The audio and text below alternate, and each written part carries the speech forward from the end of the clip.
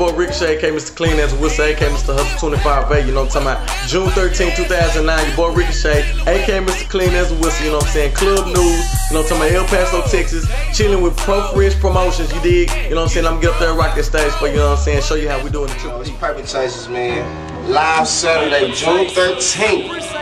El Paso, Texas at Club News. We'll be performing our smash hit Frankie. And we'll be judging the Frankie contest, Profresh Style. You.